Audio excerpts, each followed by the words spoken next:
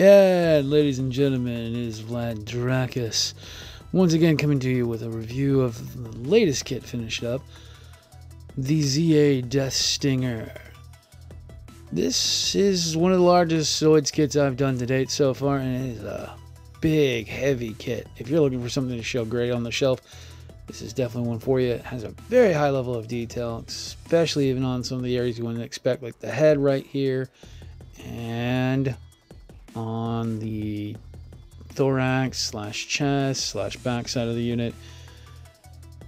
It's just insane. The condenser inside there, with the Zoid core, so many little tiny parts. Such a great build on that.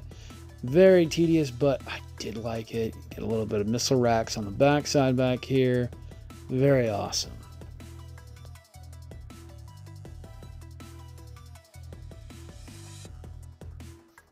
And our very large cannon sitting on the backside back here. We'll get to those in a little bit.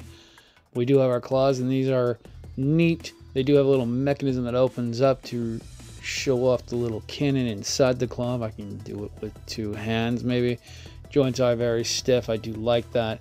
It does mean so this is a very solid kit. The only thing I did really tighten up was the midsection where the tail connects and the uh, couple of the sections of the claws. The claws are very heavy, so you will need to tighten them up just a little bit and get that midsection from flopping around on you. But overall, I haven't done any other tightening on this unit. Uh, we do have our little back pincers, which have little thrusters on the inside.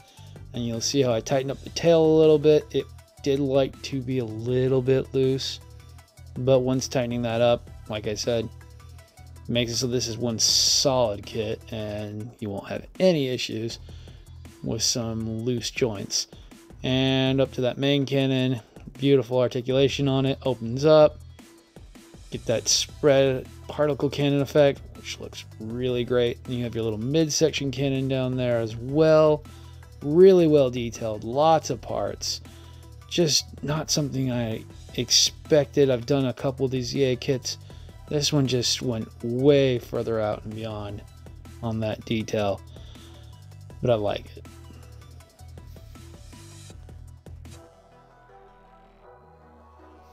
And overall, compared to the other Zoids on the shelves, this guy just stands out. That shelf presence is insane. As you can see, it's a very large Zoid. It has to take up an entire corner of the little Zoids nook that I've got going so far. And Jeez, is it one big monster of a kit. But I do love having one.